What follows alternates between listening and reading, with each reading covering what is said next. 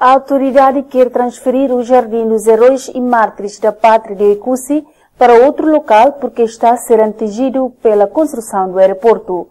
Mas o local da construção do novo jardim ainda está por identificar. É este o Jardim dos Heróis e Mártires da Pátria de Ecusi, mas a autoridade quer transferir para outro local porque está a ser atingido pela construção do aeroporto. O presidente da Autoridade da Região Administrativa Especial e o primeiro-ministro estão presentes para assistir à transferência. A construção do jardim gastou mais de 200 mil dólares americanos.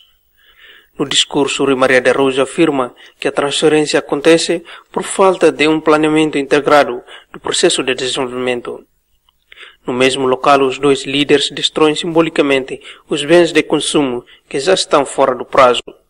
Estas alimentações foram recolhidas das 13 lojas em Ecusi. De Ecusi, Delfim de Oliveira, Francisco Marques. Reportagem.